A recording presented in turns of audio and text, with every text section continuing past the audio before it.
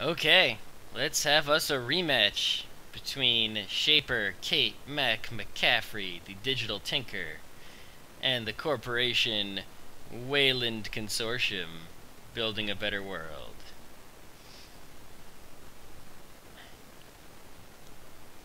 I keep my hand, and they install two ice and advance.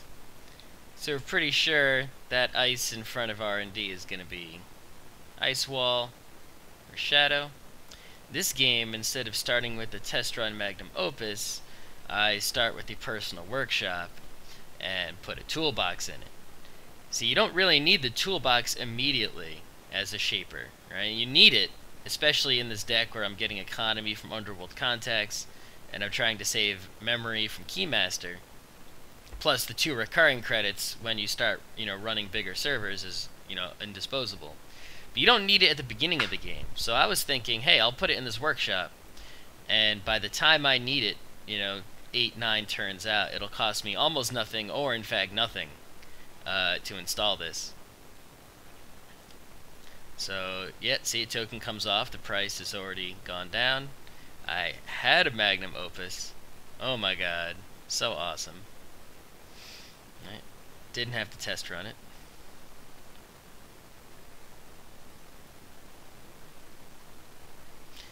And to get a card out of my hand, because uh, I had too many in my hand, I put a personal touch uh, into the workshop because I wanted to draw some more. See, I got all the great economy cards at the start. I didn't really get the icebreakers. So most of this game I end up drawing cards like crazy trying to find icebreakers. Uh, and the cards that are in my hand I really didn't want to get rid of. I had like a stim hack in there and stuff like that that you know you really don't want to throw in the trash. But you have a hand limit, so if I start when I'm drawing through my deck to find icebreakers, something you know I either have to install or use every card I get, or I got to use something from my hand. So Personal Workshop is a great place to dump hardware and programs to get them out of your hand so that you can dig deeper into your deck.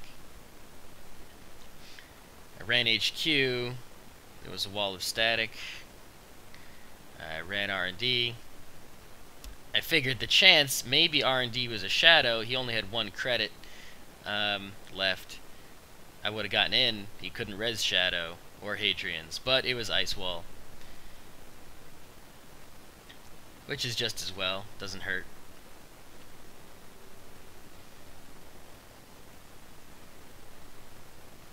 So you can see I'm drawing deep.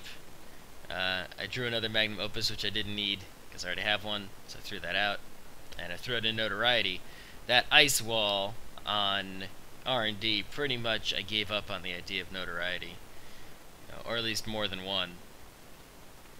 even if uh, I get a Femme Fatale for that, you know, I probably want to save Femme Fatale for Archer. It's way too expensive. You know, the my barrier breaker is Snowball, which is strength 1. See, there it is. So even there with the strength 5 ice wall, it's going to cost me 5 credits to go to R&D. That's a high price. Extremely high. Scores a hostile takeover, giving the bad publicity, which lowers the price a little bit but it's still quite expensive. Tokens keep coming off that toolbox. I'm to get it out soon enough.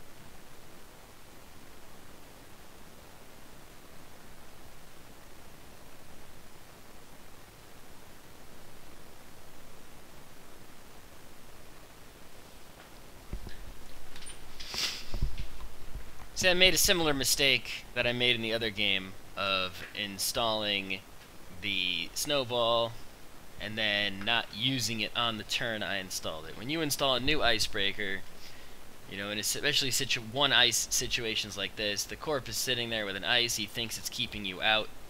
You install the icebreaker and you run with it immediately to get in before they ice up some more. See, I could have run HQ, right? There's just a wall of static there. Instead, I take a bunch of credits and use my Maker's Eye while the Ice Wall is still affordable. I get to see three cards, and it's a Ghost Branch. I trash it. See, I was right to be worried about those. Uh, okay. Nothing I can score. Not nearly as lucky as the last game.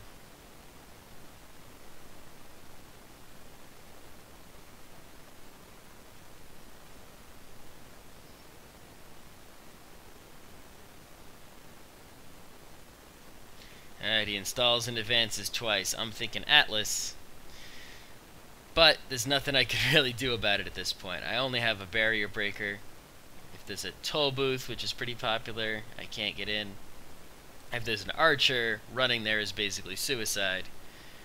I think I might just have to let him score it and then just uh, be sure that when my rig is up to run so much he can't score anything else. So I use my special order here to go and get the dog again, the keymaster, because I know there's enigmas, if not toll booths.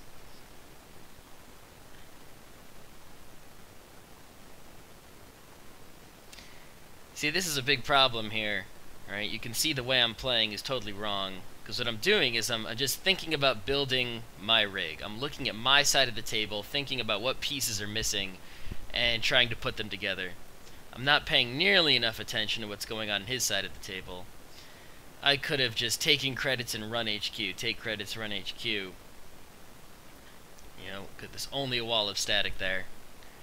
You know, but meanwhile I'm still drawing cards, just concentrated on like completing this rig. But I get it's a usable rig right now. It has functions. But uh, I'm sort of playing a solitaire here, which is completely wrong.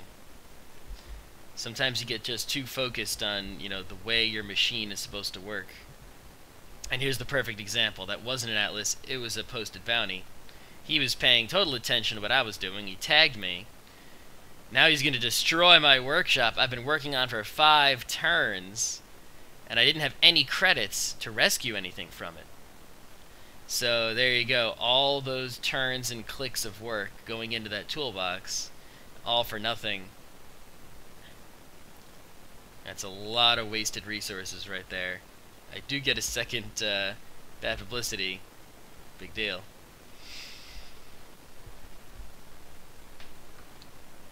I spent all that time decreasing the cost of the workshop. Toolbox. Using the workshop. Didn't get to bring it out. Had to spend a click to get two credits and a click to remove the tag.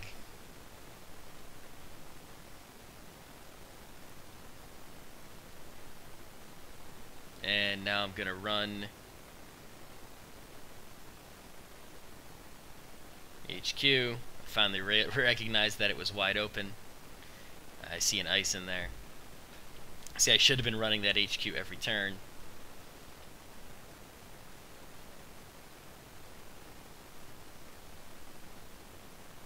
He commercializes this really big ice wall now. Gets seven credits. Alright I'm still here thinking completely wrongly, trying to build this rig and play solitaire. Especially now that I lost my toolbox, I'm digging deep to find some more stuff. I could have taken credits and run HQ again.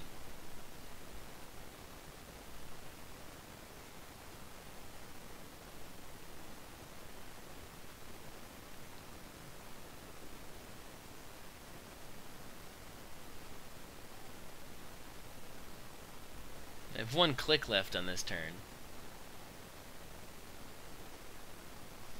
I end up taking two credits and throwing away a Crypsis and a spare Keymaster. I could have used the Crypsis. Um, it just feels bad. You know, Crypsis is the kind of card I like to use, you know, when it's all alone. Like, Crypsis is the icebreaker.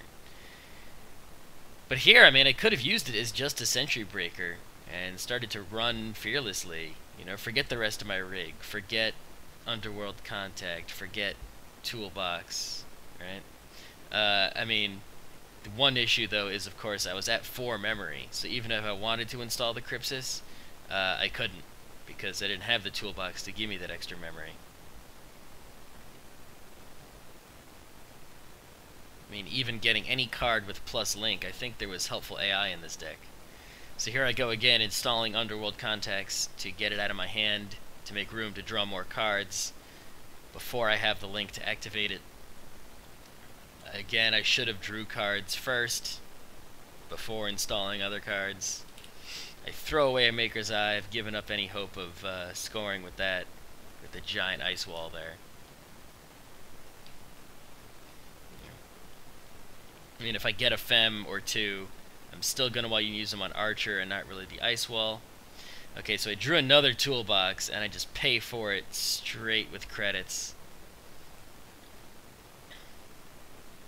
That really sucks, but, well, now I've got the memory.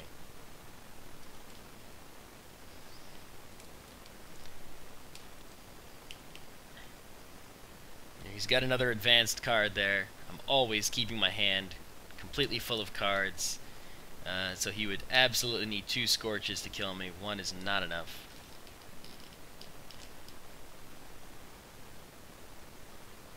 If I have the ability to keep myself at full hit points, why wouldn't I? I throw out another notoriety. I've also given up on scoring that.